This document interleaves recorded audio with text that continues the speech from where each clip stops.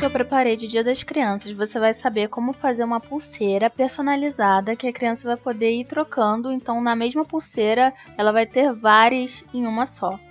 Eu recortei um pedaço de EVA de 1,5 cm por 17 cm e recortei ali nas, nas laterais de uma das pontas da pulseira com dois picotes ali. E depois eu recortei meio que na diagonal para fazer dois triângulos, um de cada lado. Esse tamanho que eu tô passando é um tamanho que eu fiz pro meu braço, tá? Esse modelo é um modelo que não dá para você regular, então você vai ter que medir no braço da criança para fazer certinho, é bem específico para ela, tá?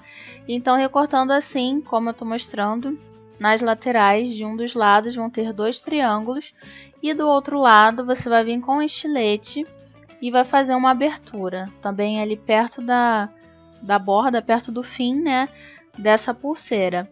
Isso vai ser necessário para você encaixar um lado no outro. Então, mais de pertinho, para vocês verem os detalhes, de um lado os triângulos e do outro lado a abertura. Essa abertura você vai regular como você preferir. Eu achei que assim ficou pequeno, então voltei com o estilete e aumentei esse buraco.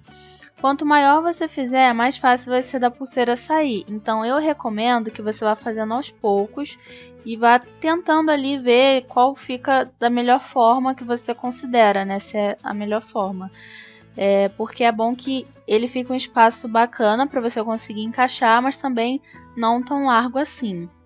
E aí a forma de colocar vai ser essa. Olha, você vai pegar um dos lados e vai passar por dentro da abertura e puxar. E aí depois que você conseguir passar, ele vai ficar assim preso e não vai sair, olha. Por isso que é bom, a abertura tá bem justinha. Essa é o primeiro modelo né, da pulseira. Agora para o segundo modelo, eu cortei um pedaço de EVA de 1 cm por 20 e estou usando um alicate vazador no furinho ali menor que fica bem ao lado do furo maior. E aí você vai colocar o pedaço do EVA nesse alicate, vai apertar com força e dar algumas torcidas assim no EVA, balançando para os lados, que aí vai fazer com que fure. Esse alicate é um pouco chatinho de usar, tem que botar força e tal. Se você não tiver, você pode adaptar, furar com, com prego, passar um cabo de um palito de churrasco, alguma coisa assim, para fazer o furo. Só que como eu tinha ele, eu já fiz que o furo fica certinho, tá?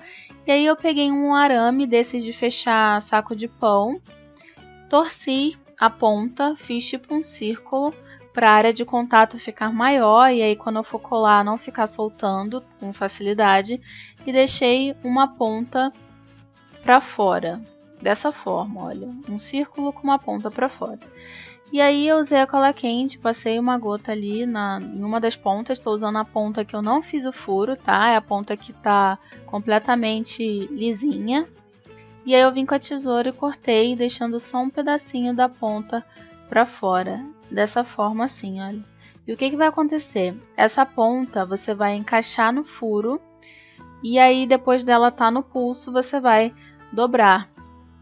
Então vai ficar é, presa por isso, esse modelo de pulseira ele já é ajustável, vai servir tanto para um pulso mais fino quanto para um pulso mais largo, tá? Importante deixar claro que você só vai colocar a pulseira assim, você vai fechar, né? Depois que você colocar no pulso, não é para colocar, não é para fechar antes de colocar não, tá?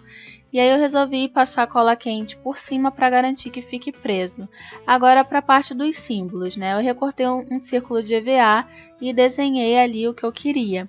Essa caneta que eu estou usando é dessas canetas permanentes. Você também pode usar a tinta se você preferir. É importante você deixar ela secar bem antes de botar a mão, porque senão a tinta vai sair na sua mão, tá?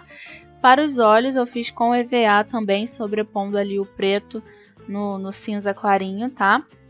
mas também poderia ser feito pintando.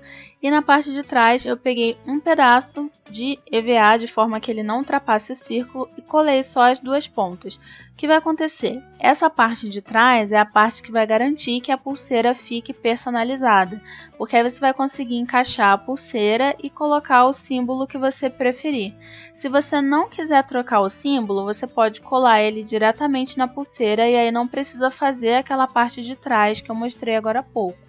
E aí eu tô fechando só para você ver como fica com a pulseira fechada.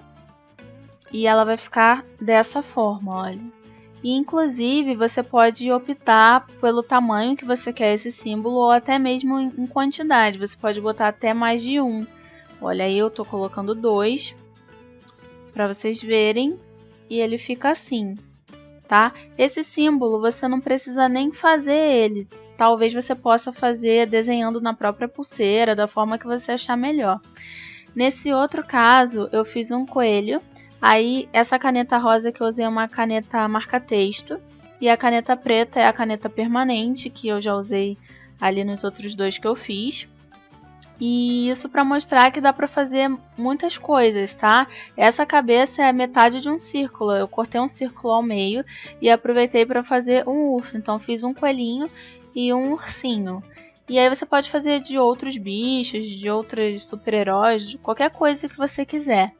Nesse daí da parte de trás, eu fiz ele não tão justo, tá vendo? Eu deixei uma folga, que isso facilita para a criança caso ela mesma queira trocar o símbolo da pulseira. Então, eu vou pegar ali um que eu fiz antes, só para vocês verem como que tá justinho. Olha, esse tá bem justinho, que vai dificultar um pouco da criança passar, mas aí você vê como você prefere fazer. Então, esse foi mais um vídeo. Eu espero que você tenha gostado e te vejo no próximo vídeo. Até lá!